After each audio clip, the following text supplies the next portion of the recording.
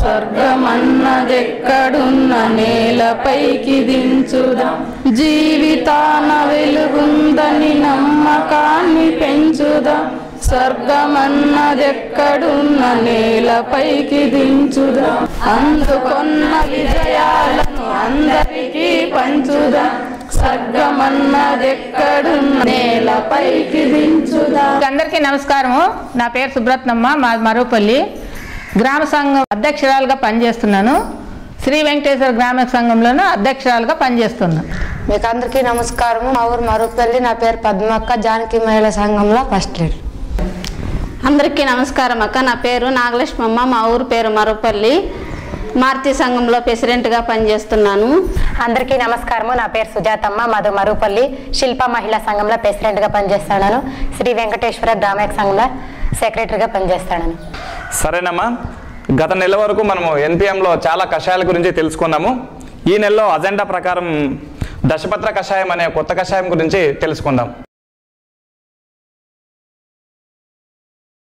దశపత్ర కషాయం చేయడానికి కావాల్సిన వస్తువులన్నీ బయట తీసుకొచ్చినామమ్మా. దశపత్ర కషాయం చేయడం వల్ల మన పంట పొలాన్ని ఆశించే పెద్ద పెద్ద పురుగుల్ని నివారించగలుగుతాం. దశపత్ర కషాయం ఎలా తయారు చేసుకోవాలో దాన్ని చేసి చూపిస్తాము. రండి.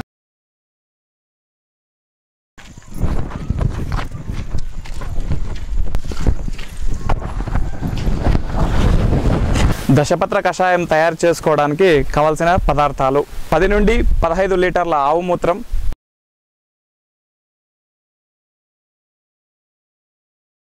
పది రకాల ఆకులమ్మ వేపాకు మూడు కిలోలు ఆముదమాకులు రెండు కిలోలు కానుగ ఆకులు రెండు కిలోలు అత్తాకోడలాకులు రెండు కిలోలు బొప్పాయి ఆకులు రెండు కిలోలు వయ్యారి ఆకులు రెండు కిలోలు కాకర ఆకులు రెండు కిలోలు జిల్లెడ ఆకులు రెండు కిలోలు వావిలాకు రెండు కిలోలు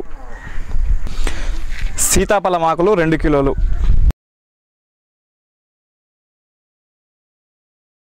వంద గ్రాముల సరప్పొడి మట్టి కుండ ముందుగా పది రకాల ఆకులను తీసుకొని విడివిడిగా మెత్తగా రుబ్బుకోవాలమ్మా.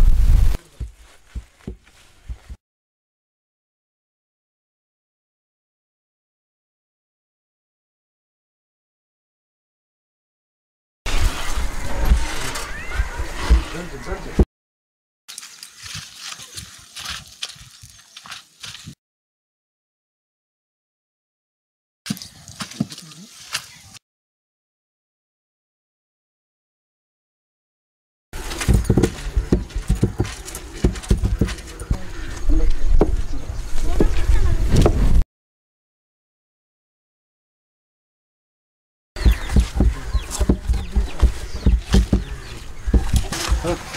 ఈ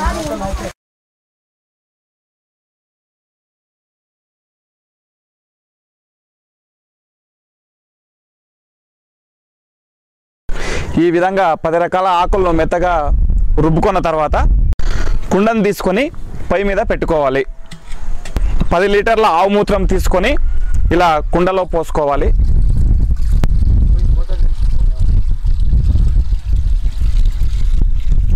ఇలా మెత్తగా రుబ్బిన ఆకు ముద్దలను ఒక్కొక్కటిగా వేసుకొని కర్రతో కలియదిప్పాలి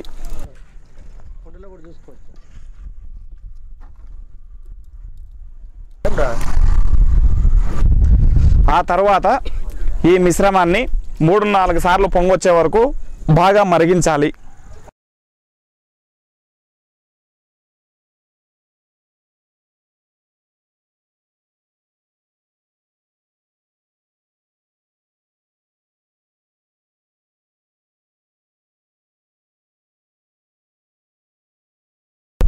ఈ విధంగా నలభై ఎనిమిది గంటల పాటు చల్లారిన తర్వాత దశపత్ర కషంగా తయారైంది.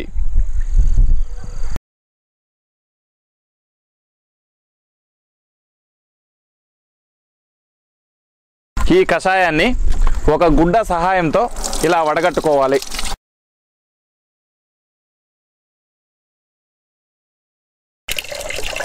ఇప్పుడు దశపత్ర కషాయం తయారైంది.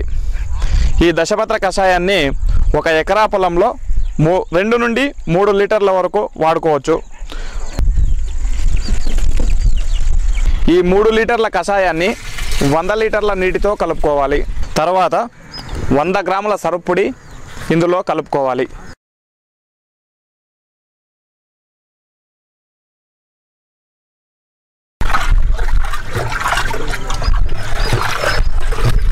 ఈ కషాయంలో సర్పుడి ఎందుకు కలపాలన్నా? అమ్మ సర్పు కలుపుకోవడం వల్ల మనం పిచికారీ చేసినటువంటి కషాయము మన పంట మొక్కలపైన బాగా జిగురుగా అతుక్కుంటుంది.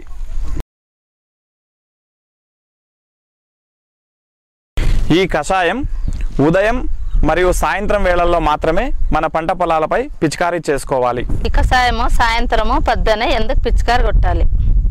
అమ్మ మనం మన పంట నాశించే పురుగులు మన పంట పైన ఉన్నాయి ఉంటాయి కాబట్టి మనం పిచికారీ చేయడం చేసుకోవడం వల్ల పురుగుల్ని బాగా నివారి నివారించుకోగలుగుతాం. లేదంటే వేరే సమయంలో పిచికారీ చేసినట్లయితే గిన మన పంట నాశించే పురుగులన్నీ మాకు అడుగు భాగానికి చేరుతాయి కాబట్టి మనం పొద్దున సాయంత్రం చేసుకుంటేనే మన పంటని బాగా కాపాడుకోగలుగుతాం.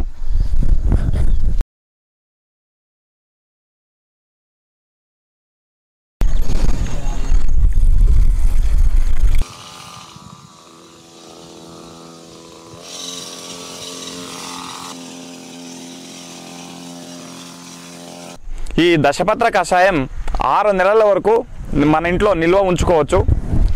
మరియు మన పంట పొలం పైన పురుగులు ఉధృతిని బట్టి ఒకసారి లేదా రెండు సార్లు పిచికారీ చేసుకోవాలి. అమ్మ ఈ కషాయం తయారు చేసుకోవడానికి చాలా తక్కువ ఖర్చు అవుతుంది. మీరు మీరంతా ఈ కషాయాన్ని తయారు చేసుకొని వాడుకుంటే బాగుంటుంది. సరే అన్నయ్య ఇన్ని మంచి విషయాలు చెప్పిన దానికి ధన్యవాదాలు. ధన్యవాదాలమ్మా అందరికీ.